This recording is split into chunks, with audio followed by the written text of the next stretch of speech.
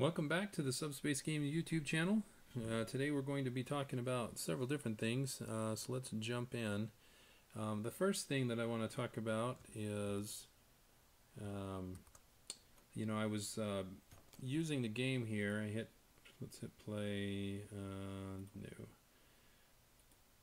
And when I switched to overhead mode, um, I was having a little issue with trying to move these these uh, objects here.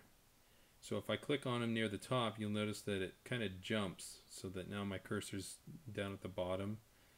And I didn't like that a lot because, um, or very much, because as I was moving this, sometimes I'd have to move it just a little bit to align it to where I wanted it to hit the ball. And uh, when it would jump like that, it was hard for me to remember exactly where the object had been. So let's go in and change that real quick. Uh, let's head over to the code. We're going to be, as you can see here, we're in the aim cam AI on mouse button down. So let's come back over here.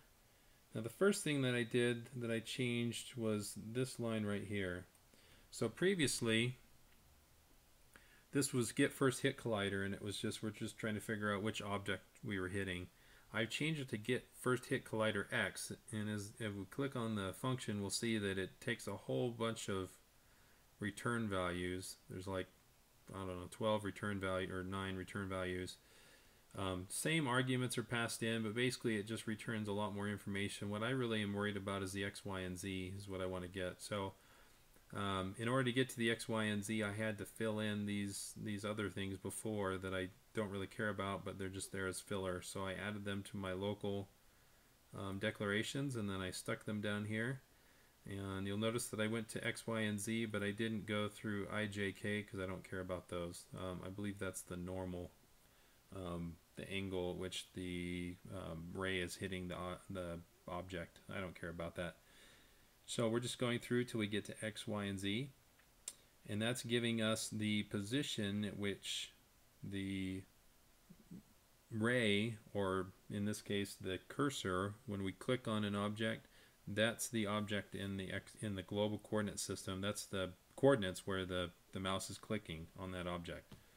Hope I'm not confusing you there. Um, and that comes in handy because what I'm going to do is I'm going to try, when I click on the object, I want to get an idea of where I clicked so that um, as I move the object around, rather than having it jump um, over to where my cursor is, I can just give it an offset. Now, to kind of explain what I'm talking about here, let me open up Paint, and I'm going to do a little um, little chart here, well, a little diagram. So let's say that we have our our object, and for whatever reason, the object location is being reported as this part of the object here, and we're clicking over here. Well, what's happening in the game right now is that as soon as we click over here and we start to move, well, the location, um, the object and everything moves so that it's down here. So then you have something that looks like this. Okay, so this is the object itself, but it jumps down here. So now the, the origin of the object and the place that we're clicking are one and the same um, because of the way I'm doing the code. So what we want to do is we want to get the offset. So I'm interested in the x, y, and z that I just got out of the function is telling me the location that I clicked. So that's this right here. Okay, and here's the origin. So I'm curious to know what the this distance is and what this dist distance is. Okay, so we're dealing with uh, you know, in this case, it's going to be, um, well, the z value, because we're dealing with 3D, and this is the x value right here. So it's the difference, it's the offset that we have to adjust for, and I'll show you how that's going to work out in the code. Let me jump back over to here. Now that I've got the x, y, and z value where we're clicking, now I want to go and get the x, y, and z value of the object itself, the location that we're currently at. So let's put that right here. Okay, so it looks like that.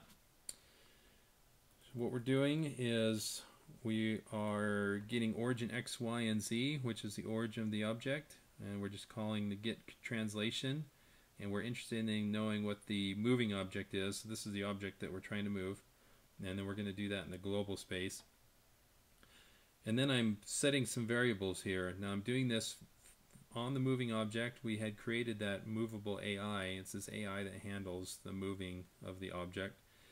And so I've created these values. There's an X offset and a Z offset. So basically I'm setting both of those. And the way I get those values is I take X, which is the location that we clicked, and I subtract the location of the object. And then I do the same thing for Z.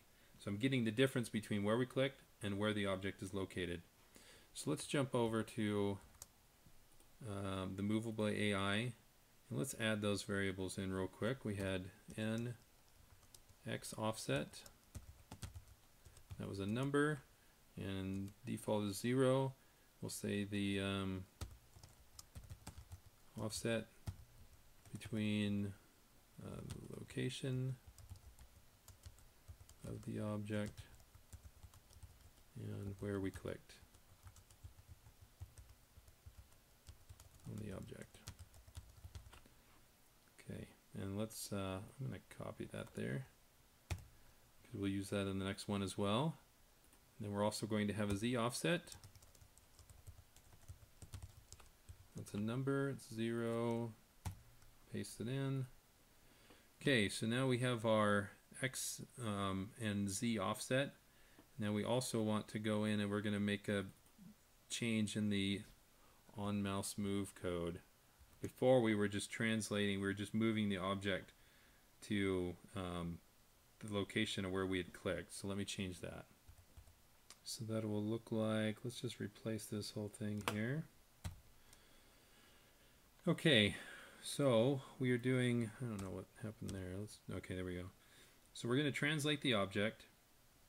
And this time we're going to take the, now the x, y, and z in this particular function here is we did the same thing from before where we get the where the cursor was, we get the x, y, and z values. But now we're plugging this offset in. So we're going to take the x value and then subtract the offset. And same thing with the z value, we'll subtract the offset.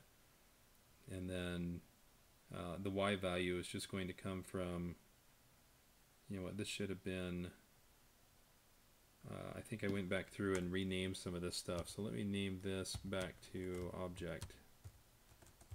Uh, I was trying to do this to make things a little bit clearer.